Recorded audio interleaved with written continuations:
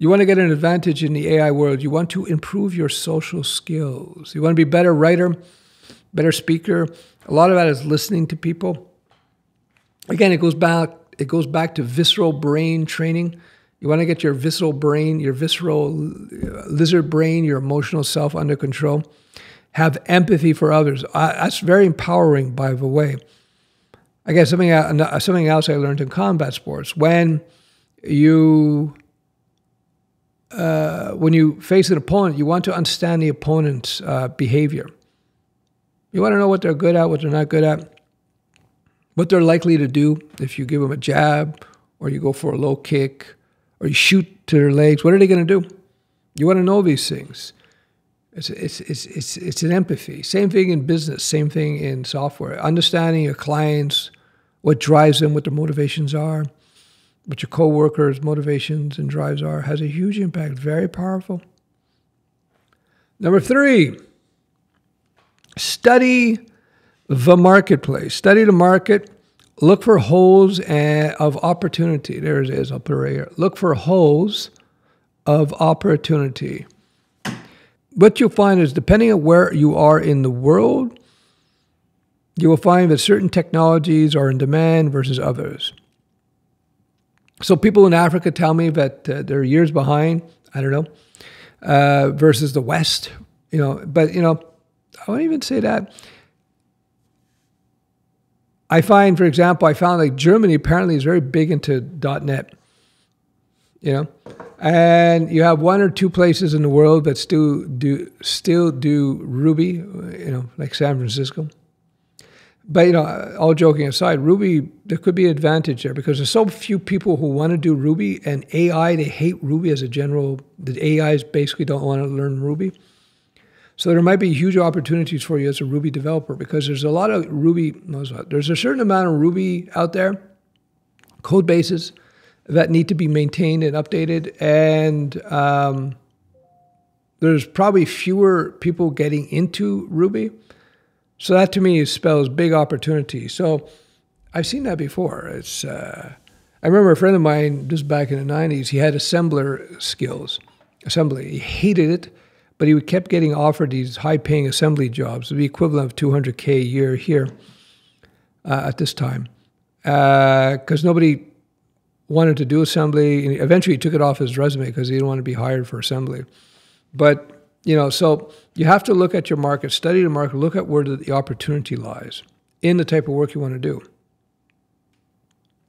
If you're freelancing, which means small business, you're going to see a lot of web, a lot of WordPress. You might see Wix, Wix jobs. Uh, you might start seeing chatbot implementation jobs. Again, everything that you do today should be supported by AI tools.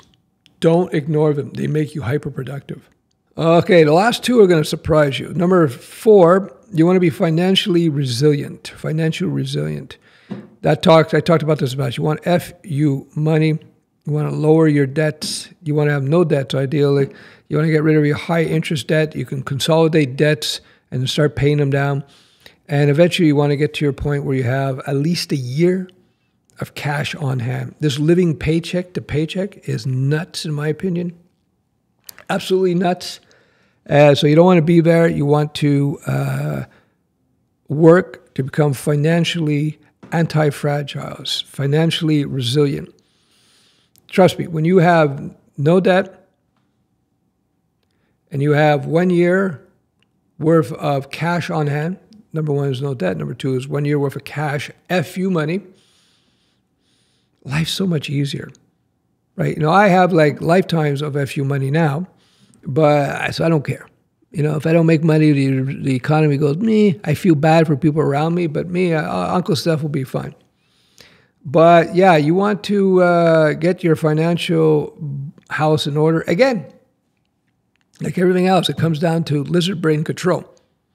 So when I started freelancing back in the 90s and started developing my uh, SaaS products, I had a dating site, and I was starting to. Uh, I started making good money as well with. Um, I sold website design leads. I did a, few bunch of things. I had a, a hosting company, little hosting business. I, I sold off, and I I, I went a long term affiliate thing with the hosting, And uh, 25 years later, it still pays me money. Not nearly as much as it used to because I don't support it, but I haven't touched that thing in decades and it still pays me money.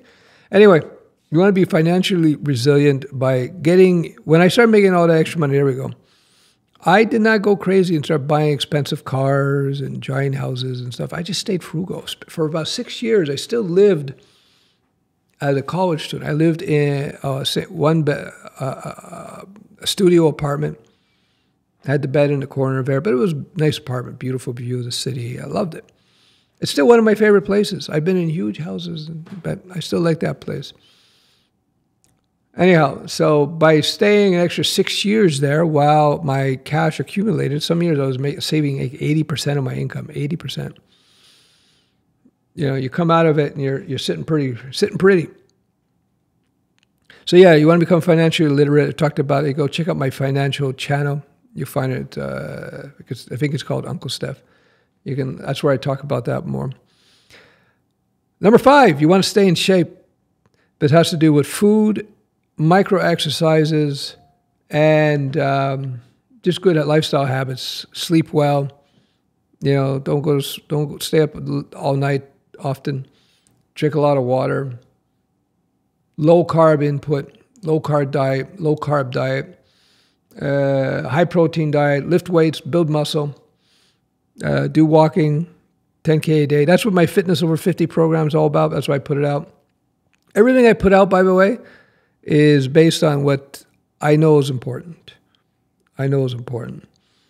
Uh, and when you go back to the financial, number four, the first step is get rid of debt, control your spending habits, uh, save your one year FU money, then start saving for retirement. The quicker you get there, the, the better off you're going to be. When you, as you save and invest, it's that accumulation of cash that matters, right? It's that accumulation of cash. And the last, at that tail end, let me draw this out. I'm going to, I'm to leverage my amazing drawing skills here. If you're still watching this video after all this time, uh, kudos, congrats. How are we doing for time here? Oh, 35 minutes. What a what a video. So this is uh, all right. So we're gonna go high end drawing skill here. There we go. Bottom is time. This is cash. Up here, more cash out here more time. So, when you first start saving and investing, when you first start saving and investing, it's like it's like down here, it creeps up.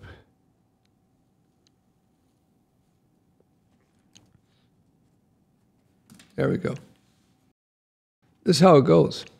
So the first while, you don't see much, but at some point it starts to, it starts to shoot up so the earlier you start investing and saving, you want to get you want to get to here as quickly as possible. You want to get to there as quickly as possible. So you see that huge, huge spike up in your net worth. That's the key. That's the key to this whole thing. You do that, you're gonna be you're gonna be super fun, super happy. That's how most people get rich. So this first bit here, you want to work really hard to get this built up because then the money starts making itself.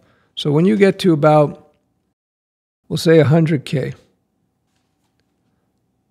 some people say it's 100K saved and invested. Some people say it's 200K, whatever. But you got 100K and you, you know, you can get like 10% return a year.